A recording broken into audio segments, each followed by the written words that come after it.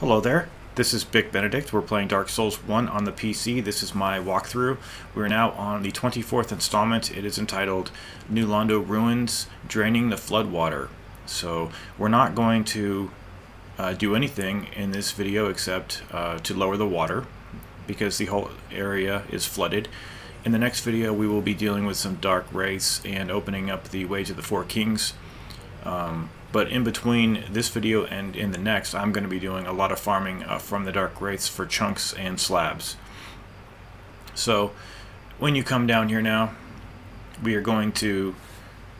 Oh, I'm also going to be picking up, um, and I'll show it in the video. I will show you guys how to get it.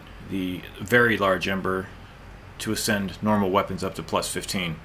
So as you come down here, we're going to use a transitory curse to deal with uh, the ghosts. And what's basically going to happen is once we turn the the valve at the end of the video, um, I just homeward boned my way back to the Firelink Shrine, even though it's not going to be explicitly shown in the video. So anyway, so let us let us pop a transient curse here for these guys. It's nice to get interrupted. It's very nice to get hit in the back as well and I um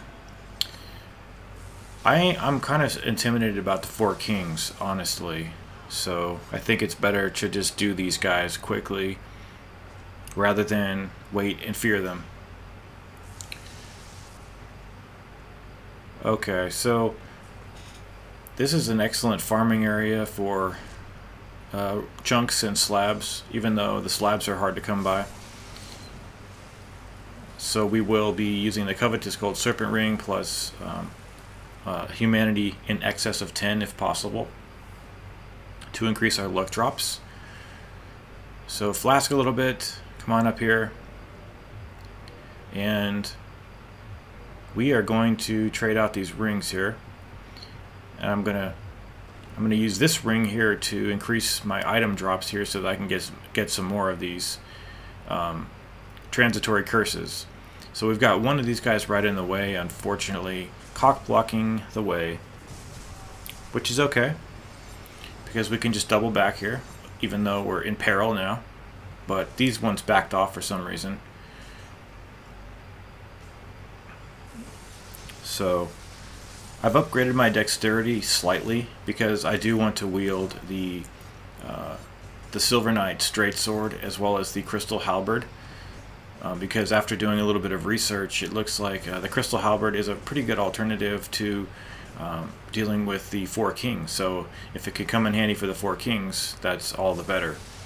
And perhaps we can even upgrade it, although I think we need Twink to upgrade that.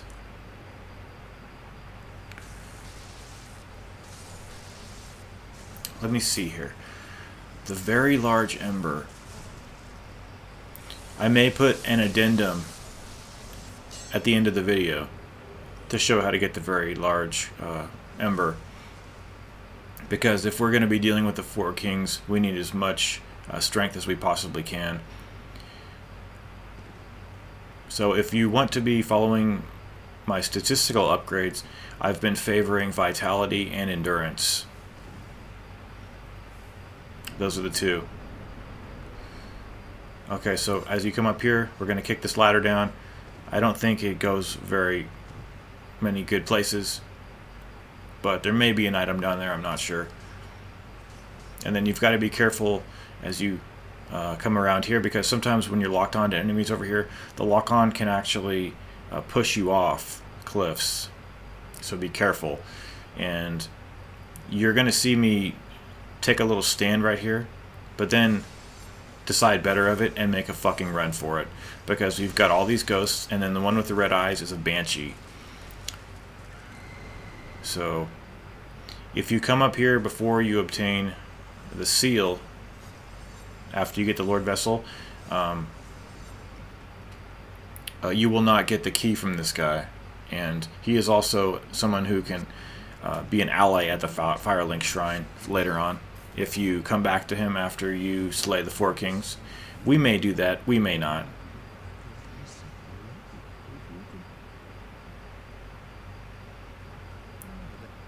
Okay, so he, you can actually come to him to have your curse broken. So he's, so if you are cursed, you can have him at the Firelink Shrine to free you from curse. I, I assume he does it for free. He better not be charging any fucking money for that shit. Okay, so come down here, make another break for it. You're going to be hanging a left. Keep an eye on the transitory curse. If it's that uh, dim dimness, see, see, how the, the square down there is dim? If it if it's bright, it means that you're no longer uh, cursed, and then you will need to activate another transitory curse.